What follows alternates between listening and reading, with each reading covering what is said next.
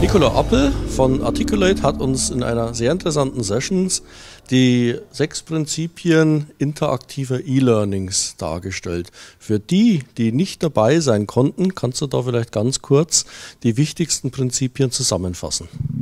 Ähm, ja, also es war von meiner Seite vor allen Dingen so ein paar Ideen zu geben, dass E-Learning in Zukunft wirklich interaktiver erstellt wird, weil oft hat man doch die klassische Vorgehensweise, dass es sehr linear ist und die Lerner sich dann ähm, Schritt für Schritt durch die Informationen durchhangeln. Und was ich immer spannend finde, ist das einfach mal sich davon abzulösen und äh, beispielsweise ähm, Szenarien einzuführen, was glaube ich auch mittlerweile schon mehr im Kommen ist, dass man Situationen den äh, Lernern ähm, und sie dann sich mit den Situationen auseinandersetzen sollen und Lösungen finden sollen.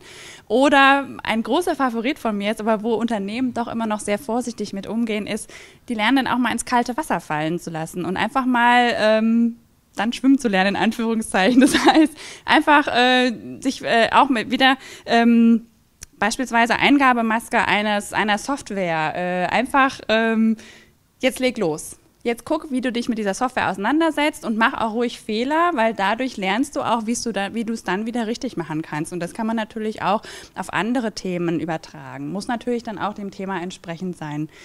Spannend fand ich, dass in der Diskussion rausgekommen ist, dass ähm, viele da wirklich auch schon in der, in der Richtung experimentieren und dass es gar nicht mal so große Hürden mehr in Unternehmen gibt, mehr Interaktivität reinzubringen.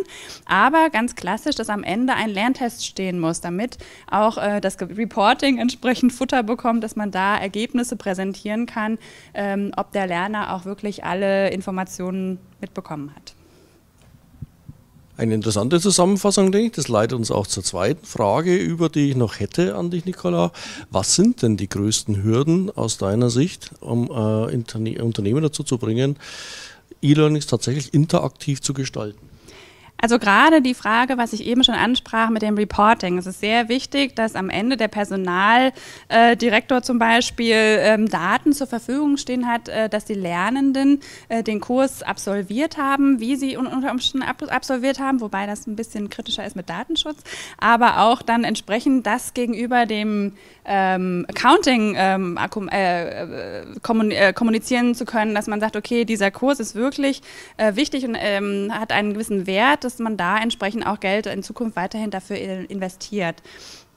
Ähm, es ist natürlich, es gibt diese klassischen Compliance-Kurse zum Beispiel, es gibt gewisse Themen, die müssen einfach in regelmäßigen Abständen in Unternehmen ähm, behandelt werden oder auch als E-Learning angeboten werden. Und da ist es natürlich äh, klar, dass es dann auch in gewissen Strukturen abläuft und ähm, die Lernermotivation oft nicht ganz so die größte ist. Ich muss jetzt gerade noch mal fragen, was die Ausgangsfrage war. ich habe den Faden verloren. Die größten Hürden, alles klar.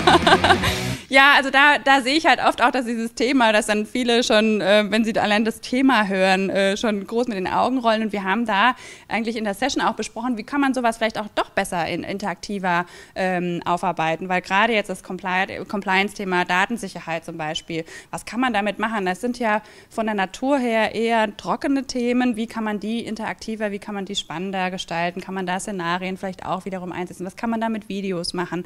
Also ähm, einfach mal selber so die, das eigene, die eigene Motivation nehmen und äh, überlegen, wie kreativ kann ich mit dem Thema werden, was kann ich daraus machen. Vielen Dank, Nicola, für diese interessante Zusammenfassung.